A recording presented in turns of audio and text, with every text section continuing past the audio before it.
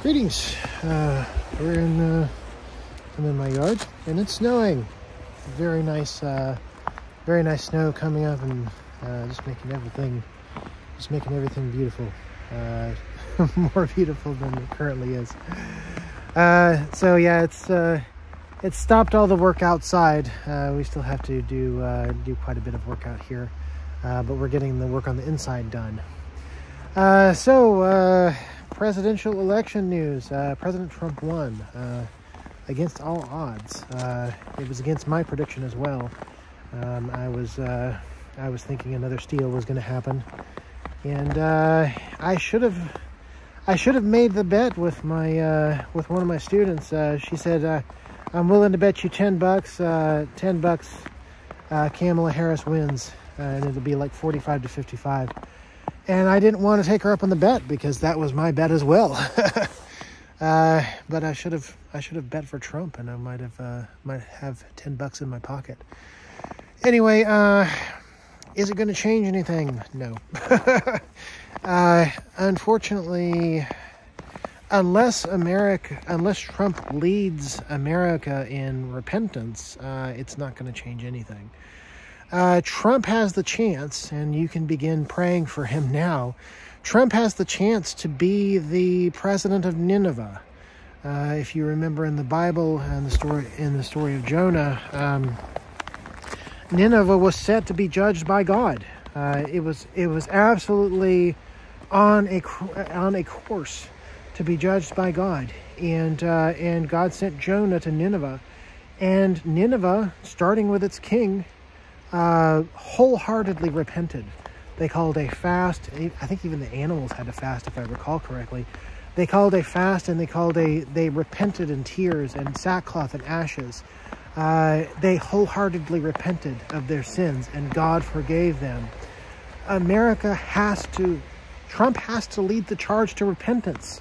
Uh, if if there's any hope of changing America, uh, will that happen? I don't know. Uh, Trump is a businessman. Uh, he's going to try to do what's best for business, and he thinks that uh, he thinks that taking care of Israel and Israel's needs is going to be good for business. Um, I've got news from Mr. Trump. Uh, teaming with Israel is teaming with God's enemies, and it is uh, it is not going to go well for America if America keeps on uh, keeps on giving to um, keeps on giving to Israel. Uh, if America keeps on keeps on fighting the war in Ukraine, uh, which was which was started when the when the ecumenical patriarch worked with the State Department to topple the Orthodox Church in Ukraine. Um, if you strip a country of its native faith, uh, you do a very good job of uh, you can do a very good job of destroying it, and uh, and the elite and the globalists are selling out Ukraine, killing off all its people, uh, raping it of its natural resources, and basically uh, basically liquidating the country, and getting away with it. Uh, the Ukraine war has to stop, and that land needs to be given to Russia, all of it uh, Russia is not going to stop until they have they have all of it. Uh, so I don't know. Um, part of the uh part of the problem here is that uh, is that we're looking to Trump for our salvation. As con- as conservatives, uh, I was guilty of this back in 2016. I was heavily involved and in, invested in the political process and uh, I watched Fox News day and night, night and day. That's that was when it was still trying to be fair and balanced. Uh, now it's just it's just flopped liberal again. Um, but um, I kept very close to the political process and was very excited when he won. And over time, I watched what was I watched what was happening, and I found out that not much was happening. Uh, Trump was fighting against a Congress, Trump was fighting against a deep state, Trump was fighting against half the country uh, to try to get anything done.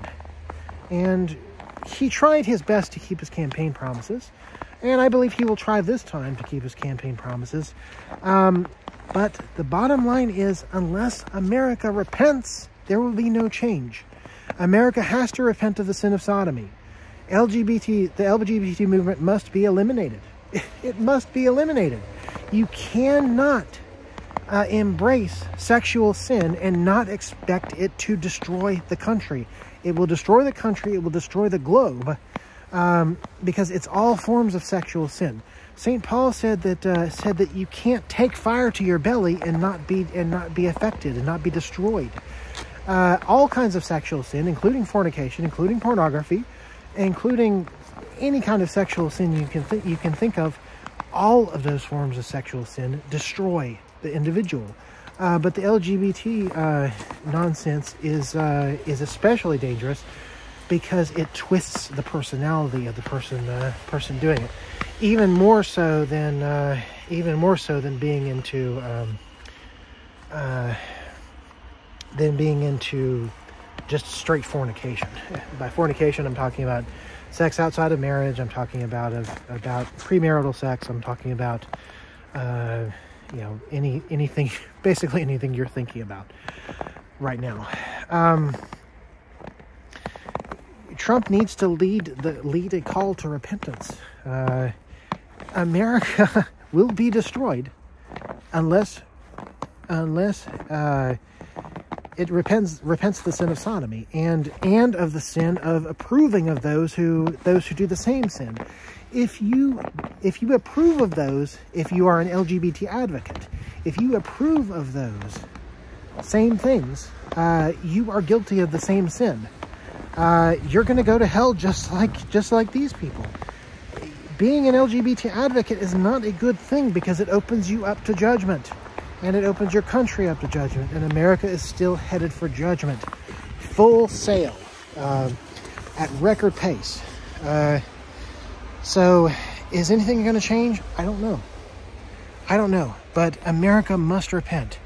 The Orthodox Church is currently the Orthodox Church is currently, as as I heard, the fastest growing uh, religion in America, and I pray that this continues uh, because that's a sign of repentance. But we have to pray. We must watch. We must pray uh, for America because uh, because America must repent.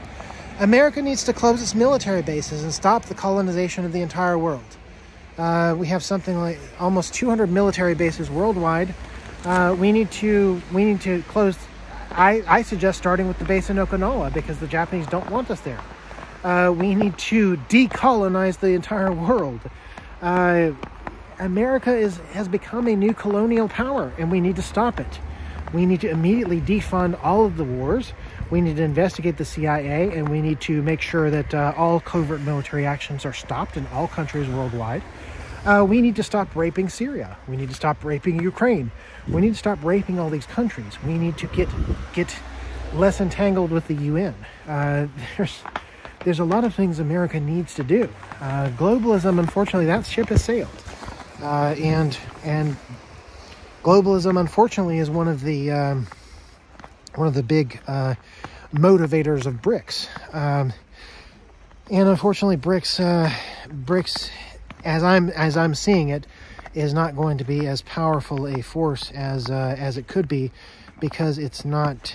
Uh, it's empowered by globalism. It's not empowered by Russian nationalism, uh, and the Russian Empire uh, cannot return until the, until its leaders effectively repent from uh, from this desire for a one world government, from this desire for globalism. Uh, so it's it's time for repentance. Uh, America must repent, or it will, or it will face a, a rapid judgment. Uh, that's one of the reasons I moved here was because I was convinced uh, that America is uh, is set to be judged any day for its sins, and I wanted to uh, I wanted to prepare the way for not only for myself but also for my family. Um, now, as for whether my family will get their act together and respond to that, I've I've left an open invitation, and so far they've refused it, uh, um, pretty violently refused it, or refused to help me at all, and refused uh, and refused to come here, and uh, so that's uh, that's my business. but uh, so pray for me, pray for my family, pray for uh, you know, pray for Elena, and just pray for us. but pray for America. Um, because we have had we've had reports, we have had uh, saints say America will be saved. Uh, America will be saved. America can be redeemed. I believe it was Saint Hermas, Saint Herman of Alaska said that. Uh, mark my words, America will be saved. Um, it's only going to be saved in an orthodox manner. Uh, the the uh, the end will only come when when the word is spread throughout the globe in an orthodox manner. When the entire world has gotten to hear the orthodox word. Uh, it's not the Protestant word. It's not the Catholic word. It's not the whoever else. It's the canonical Orthodox Christian word that is the only that has the only power to save. Uh, and the world is not going to end until that happens. Um, the world, the gospel is getting preached. Uh, people are converting to Orthodoxy. Praise God. There's there's record numbers of catechumens flooding into the Orthodox Church in America, and I'm happy about that. Uh, I want that to I want that to start in start in Russia and continue in Russia. I want to see catechumens. Uh, I want to see catechumens. I want to see more English speaking churches form here because we're going to have uh, uh, because we're going to have hopefully hopefully more people like me and hopefully more people like my uh, like my expatriate friends starting a new life in Russia. And uh, it's hard to uh, it's hard to hop into a Old Church Slavonic church which is what I've done. Uh, but it's hard to get used to that if you're used to if you're used to having English services. Uh, so yeah, things have the potential to change. Yes, uh, but much prayer is required. Uh, ask everyone you know to pray for America. Ask everyone you know to pray for to pray for the country's repentance, uh, because the only way that America can be saved and where America goes, the entire world goes. Uh, you know, America is entangled. America's fate is deeply entangled with the fate of the entire world. You know, BRICS is an attempt to somewhat detangle some of these nations from American influence, uh, but it it has a very poor chance of succeeding uh, unless there's unless there's repentance on on Russia's part. Uh, so I don't know.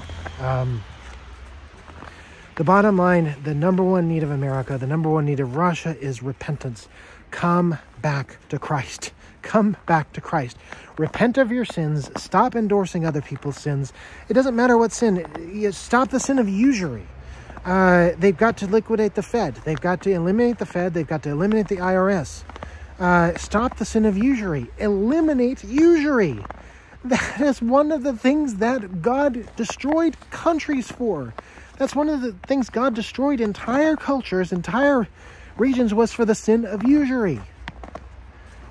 Borrowing money at interest is a sin, and that is why so many people make a lot of money in America is because the country flows based upon sin.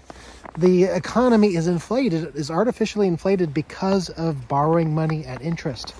And I'd better get back inside. it's a little cold out here. But anyway, uh, pray for us, please. And um, if you're able to donate, um, there's a um, they, I have links to my Substack. Please, please consider doing a paid subscription to Substack. That will help us. Uh, there's a Patreon link. Please consider Patreon. Uh, if you're in Russia, you can send money to us uh, to us directly. There's a link to. There's a uh, my phone number is in the um, is in the uh, comments. Uh, so please, please, not in the comments, the details for this video. Uh, please uh, pray for us and uh, consider donating uh, because your donations will be used to improve the channel. Um, a lot of good stuff coming up. I'm posting an interview with with my friend Dima. I'm uh, finishing doing the finishing touches on that, and I just did an interview with Mr. Tim Kirby. Uh, very good interview, and he agreed to uh, he agreed to come back uh, come back in the future as well. Uh, very, very good interview. I think you'll appreciate his insights. Um, we're doing an interview this weekend with Mr. Andy, Mr. Afrolev himself. Uh, great, great kid. I really like this. I really like this guy. I've been talking to him, and now he hasn't. No, I gotta go. Uh, God bless. Pray for, pray for us. Thanks.